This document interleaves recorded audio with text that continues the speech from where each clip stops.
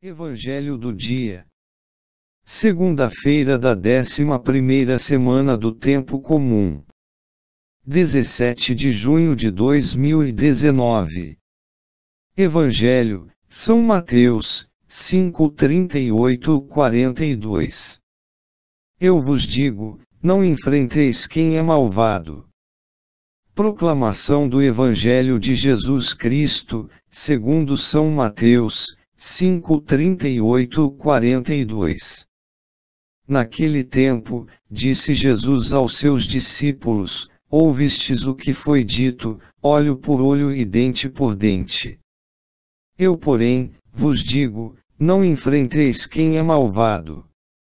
Pelo contrário, se alguém te dá um tapa na face direita, oferece-lhe também a esquerda. Se alguém quiser abrir um processo, para tomar a tua túnica, dá-lhe também o um manto. Se alguém te forçar a andar, um quilômetro, caminha dois com ele. Dá a quem te pedir, e não vires as costas a quem te pede, emprestado. Palavra da Salvação.